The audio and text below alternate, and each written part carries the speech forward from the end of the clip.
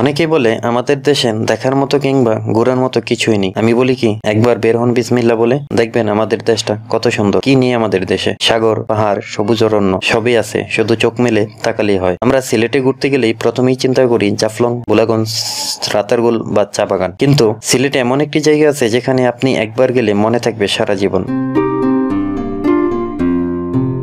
Friends আমার পাশে ওই পাহাড়টা দেখতে পাচ্ছেন, ওটাই হলো মেঘালয়, ইন্ডিয়ার। এই খালের এই পাঁচটা বাংলাদেশ, ও পাঁচটা ইন- ইন্ডিয়া। এই লালা খালের প্রধান বৈশিষ্ট্য হলো, এই খালের পানিগুলো অত্যন্ত স্বচ্ছ এবং নীলবর্ণের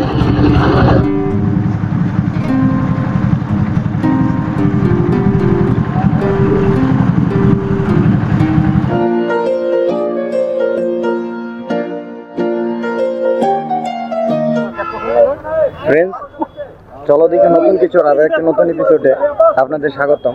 এই মুহূর্তে আমি দাঁড়িয়ে আছি সরিষাঘাট ঘাটে এইখান থেকে লালাখাল ভ্রমণের জন্য আমরা নৌকা ভাড়া করব। তাহলে চলুন, জেনে নেওয়া যাক নৌকা ভাড়া কত। কত ঘণ্টা? কতজন? যাই হোক, আজকে এমন একটা জায়গার কথা বলব, যেখানে অনেকেই যেতে চাই কিন্তু পরিকল্পনার অভাবে যেতে পারে না, কিংবা কীভাবে কোন সময় যেতে হয় জানে না। ভারতের চেরাপুঞ্জির ঠিক নিচেই লালাখালের অবস্থান। চেরাপুঞ্জি পাহাড় থেকে উৎপন্ন এই নদী বাংলাদেশের মধ্য দিয়ে প্রবাহিত। প্রকৃতিকে খুব কাছে থেকে অনুভব করার জন্য স্থানটি বেশ উপযোগী। পাহাড়ের ঘন সবুজ বন, নদী, চা বাগান ও নানা জাতের বৃক্ষের সমাহার লালাখাল জুড়ে। পূর্ণিমায় যেতে জ্যোৎস্না দুয়া নদীর রূপ সারা জীবন মনে রাখার মতো একটা ঘটনা হবে। লালাখাল নদীতে অসংখ্য বাকের দেখা মেলে। প্রতিটি বাকেই দেখার মতো সুন্দর। লালাখাল বেড়ানোর উপযুক্ত সময় শীতকাল। শীতের সময়টা আপনি পাবেন চমৎকার নীল জলরাশি। বর্ষার স্রোত থাকে না তখন, তাই পানি শান্ত, স্বচ্ছ ও নীলাকৃতির একেবারে যে নদীর তলদেশ দেখা যায় উপর থেকে, ভাবা যায় না যে পানি এত স্বচ্ছ হতে পারে। বর্ষায় স্রোতের সময় পানির রং হারিয়ে যায়। শীতের সময় বোনাস হিসেবে দেখতে পাবেন হরেক রকম শীতের পাখি।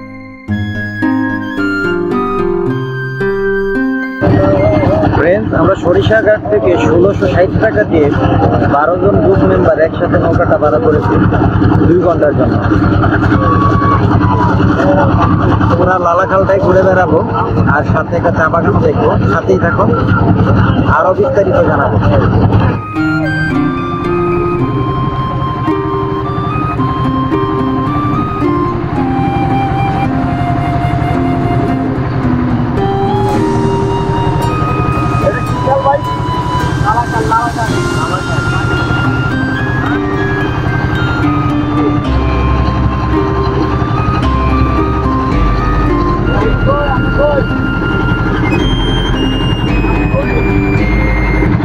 লালা খালের প্রধান বৈশিষ্ট্য হলো, এই খালের পানিগুলো অত্যন্ত স্বচ্ছ এবং নীল বর্ণের একদম নীল কালারের। দেখেন পানিগুলো কি অবস্থা। লালাখাল নদীতে অসংখ্য বাঁকের দেখা মেলে, প্রতিটি বাঁকেই দেখার মতো সুন্দর। পাহাড়গুলোকে দেখলে মনে হয় কেউ যেন নিজ হাতে থরথরে একের পর একটি করে সাজিয়ে রেখেছে। এখানে পাহাড়ের গায়ে মেঘ জমা হয়। একটু কাছ থেকে দেখা যায়, মেঘের দল বেঁধে পাহাড়ের গায়ে ঠেস লাগিয়ে থেমে থাকে। আবার কখনোই দুই পাহাড়ের মাঝখান দিয়ে সবার অলেখ্য হারিয়ে যায়। লালাখালের তামাবিল রুটের কাছের অংশের নাম সারি নদী। এই খালের সবচেয়ে আকর্ষণীয় যে বিষয়, তা হচ্ছে বিভিন্ন কালারের পানি। খালের এক এক অংশের এক এক ধরনের কালার, যেমন নীল, সবুজ ও স্বচ্ছ পানি। এই সময় মুগ্ধ দৃষ্টিতে তাকিয়ে থাকবেন নদীর পানির দিকে। কি সুন্দর নীল, একদম নিচে দেখা যায়। ভারতের চেরাপুঞ্জির ঠিক নিচেই লালাখালের অবস্থান। রাতের সৌন্দর্যে ভরপুর এই লালাখাল সিলেট জেলার জন্তপুর উপজেলার সন্নিকটে অবস্থিত। লালাখাল এলাকায় পর্যটকদের থাকার কোনো জায়গা নেই। আর সিলেট শহর থেকে বেশ দূরে সন্ধ্যার দিকে নদীতে কোনো নৌকা থাকে না। তাই ভ্রমণ বা ঘোরাঘুরি সন্ধ্যার মধ্যেই শেষ করতে হয়। সবচেয়ে ভালো হয়ে নৌকা ভাড়া নিয়ে যাতায়াত করলে। লালাখালের চারপাশের সন্ধ্যার আগে মুহূর্তটা আরও অবিস্মরণীয়।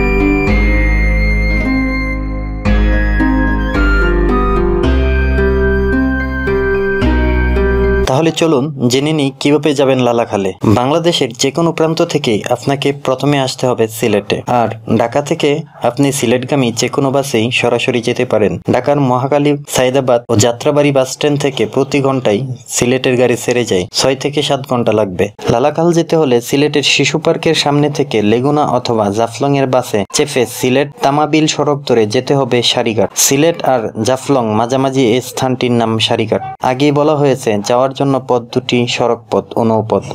সড়ক পথে যেতে চাইলে মাইক্রোবাস বা কার ভাড়া নিলে ভালো হয়। তাছাড়া সিলেট শহর থেকে বাস, লেগুনা, সারিঘাট গিয়ে সিএনজি চালিত অটোরিকশায় ভাড়া নিতে পারেন। নৌপথে যেতে চাইলে আগে সারিঘাট পর্যন্ত একই নিয়মে বাস, লেগুনা গিয়ে নৌযান ভাড়া নিতে হবে। ফেরার পথে এখান থেকে বাসে কিংবা লেগুনায় আসতে পারেন।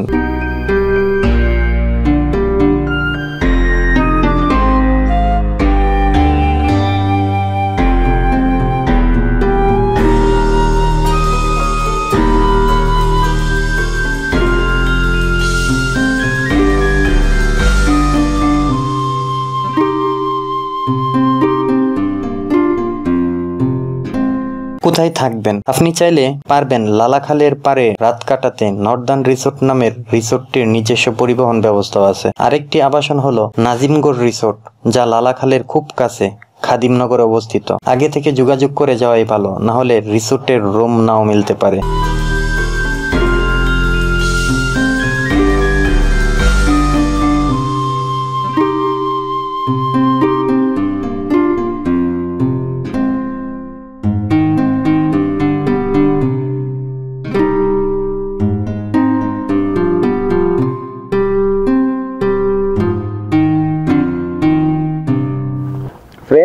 আমার পাশে ওই পাহাড়টা দেখতে পাচ্ছেন ওটাই হলো মেঘালয় ইন্ডিয়ার।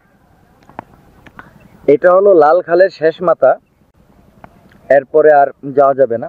গেলে আমরা এই যে খালটা দেখতে পাচ্ছেন এই যে খালটা sorry, এই খালের এই পাশটা বাংলাদেশ ও পাশটা ইন্ডিয়া।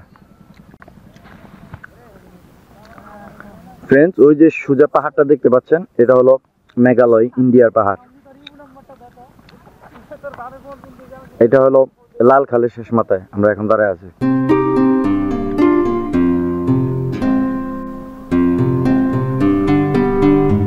সব কাঙ্কর এগুলা, বালি না। ছোট ছোট পাথর।